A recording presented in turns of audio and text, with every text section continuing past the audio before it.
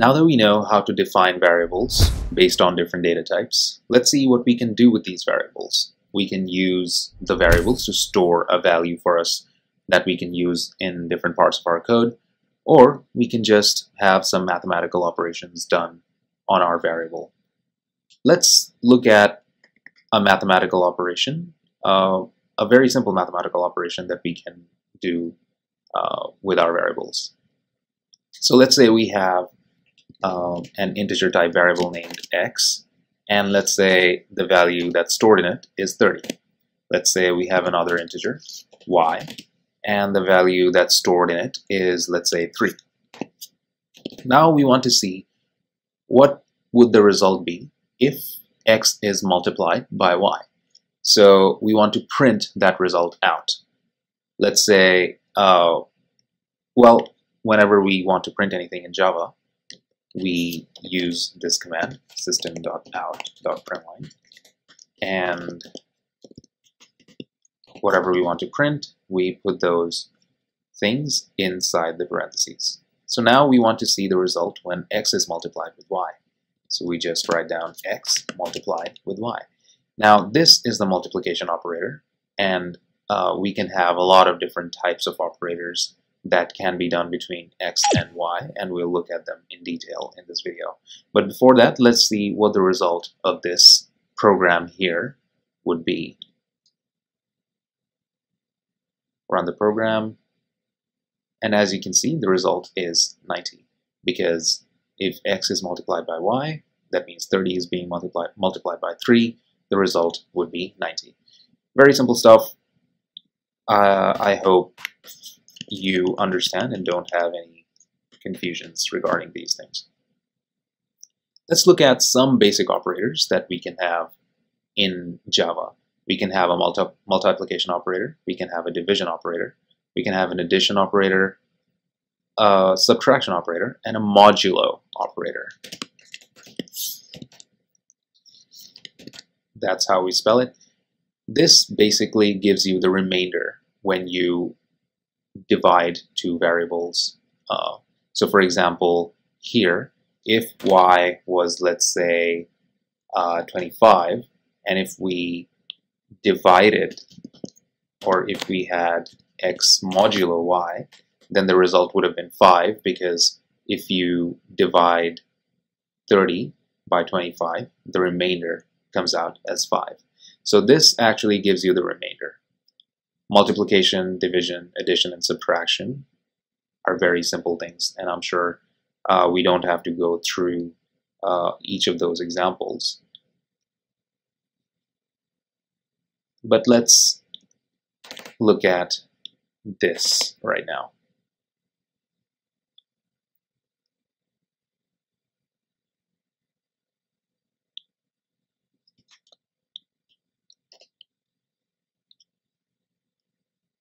So we have two integers, a and b. a is 20, b is 10. And we want to print out the value of a plus b.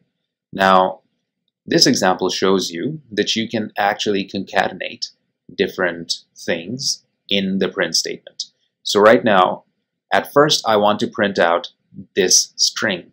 I want to print out value of a plus b is, and then I want to concatenate the results of a plus b with this string. And that's what uh, would be printed out. So let's see what the result of uh, this program would be.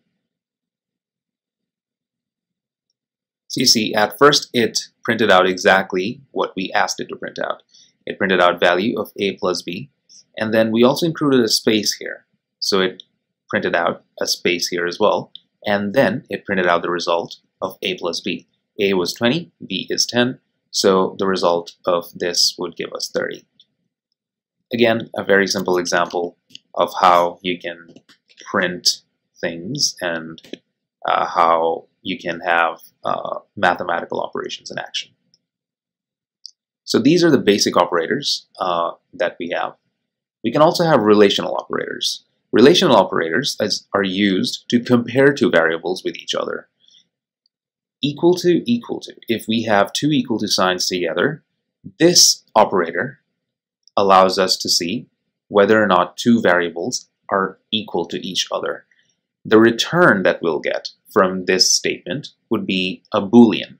And remember, a boolean is either true or false. So uh, let's look at one of the examples here. Uh, but before that, let's actually try and explain the other types of relational operators that are there as well. So this means not equal to. Whenever we have an exclamation sign, that usually means not in Java. So if two variables are not equal to each other, if we want to test whether two variables are not equal to each other, then we use this operator. This operator is used to see whether or not one variable is less than the other. This, uh, this operator's, uh, operator is used to see if one variable is less than or equal to the other. This is a greater than operator, and this is a greater than or equal to operator. So again, let's look at an example in code. Here again, we have two variables. Both of them are integer types. And if you define these variables in the same line, then you only have to state the type of variable once, given that both of these variables of the, are of the same type. So a and b are both of integer data type, so we only had to state int once because we defined these variables in the same line or in the same statement. Um, great, so a is 20, b is 10, and we just want to print out the different results of uh, these different operators. So let's look at the first line, this, this first statement. What is happening here?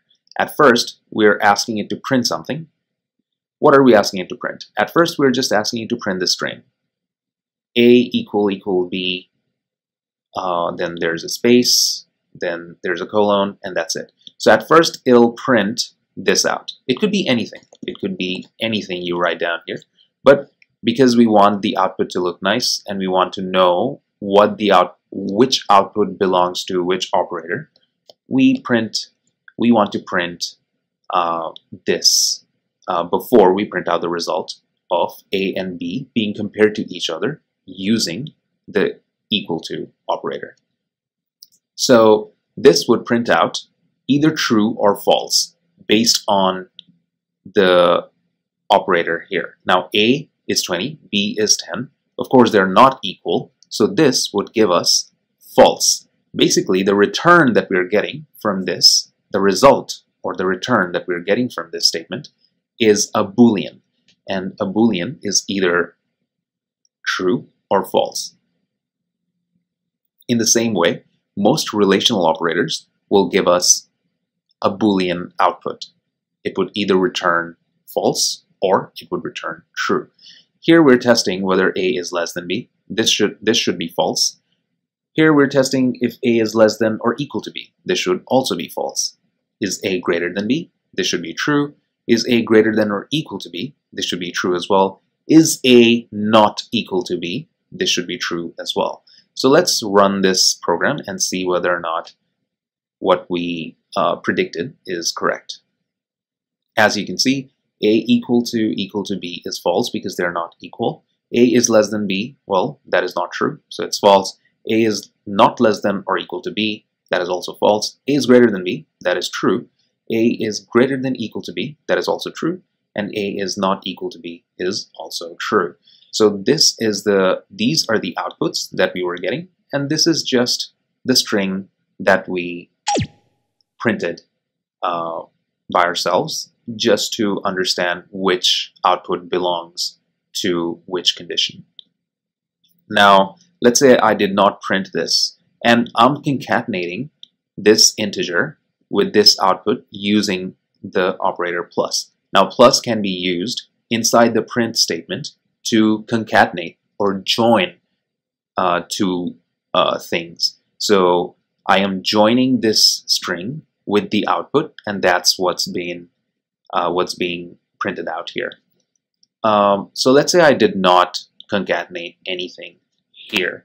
What would the output be?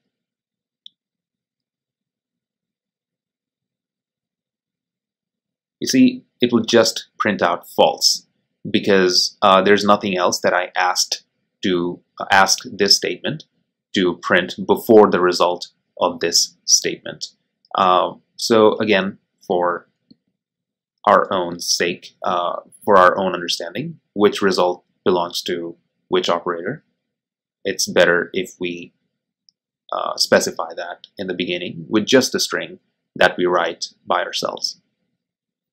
Great, now you understand the different relational operators as well. Now let's move on to logical operators. What does what do logical operators do? There are two different types of logical operators. There is an AND operator and there is an OR operator. If two sides of, uh, before that, here, when we were comparing two variables, there was the left side and the right side, and the relational operator was in the middle. The whole thing gave us a Boolean value, either true or false. For relational operators, the left side or right side themselves have to give us either true or false. So right side would either be false or true, left side would either be false or true as well. Sorry, right is here, left here. Uh, so actually, if we try and look at a couple of examples, then we'll understand exactly what's happening. But keep in mind that for AND, the result would also be, uh, for these logical operators, the result would also be a Boolean. Ultimately, the result of these operators would give us true or false. AND would give us true if both sides are true.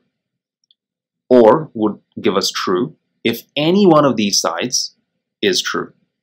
If any one of the sides for AND is false, then our result would also be false. For logical operator, we'll only get a false result if both of the sides are false. So let's see uh, this in action by looking at a couple of examples.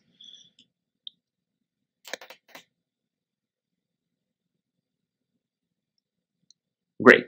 So let's define a few Boolean type variables. Let's say I have a Boolean x, which is true. What can be true? I think dogs are awesome. That's a true statement. So uh, let's say Boolean x is true. This is just so that you have some mnemonic in your mind or some, something in your mind that relates to a statement that is true. Uh, let's say we have another variable named y, which is false. So if someone says spiders are cute, I think that is categorically false. Uh, and so you can think of y as uh, that statement. Of course, these are just comments. They don't necessarily uh, relate to the code. Let's say we have a third variable named z, and that is true as well. And let's say uh, the statement that we want to associate with this is coding is easy with practice. Uh, of course, it will be pretty difficult if you don't practice. so uh, we have a fourth variable named a, and let's say that is false as well. Now, we want to see what the results would be if we uh, use the logical operators on these variables. Now, at first we want to test x and y. So x and and y would be the statement that would give us the result that we are looking for. Uh, we want to see how uh, the result would turn out if we use the AND operator with x and y. Now x is true, y is false. For AND, both of these things need to be true in order for our result to be true. Since y is false, this result would give us false. z is true, x is also true.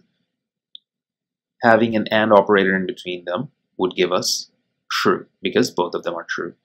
Y is false, z is true, of course, this would give us false. With OR, any one of them being true will give us true. Now, x and y, here x is true, y is false, so if we OR x and y, then uh, if we OR x with y, then the result would be true because x is true. Again, here x is true, it doesn't really matter what this is. uh, but since z is true as well, this will also give us true. y or z would actually give us true as well because z is true, even though y is false. This statement would give us true. Since a and y are both false, this statement would give us false when we use the OR operator between y and a. So let's see if our predictions are correct. Let's run the program and see uh, what the results are. As you can see, x and y is false, x and z are true, y and z are false, uh, x or y comes out to be true, x or z comes out to be true, y or z comes out to be true, y is false, a is false. So when you uh, use the OR operator, the result would be false. And that is how you use relational operators. Let's move on to the next thing. So now uh, we have understood the different types of operators uh, that can be used in Java. We have relational operators, we have logical operators, and we have some basic mathematical operators. Now let's move on to control statements.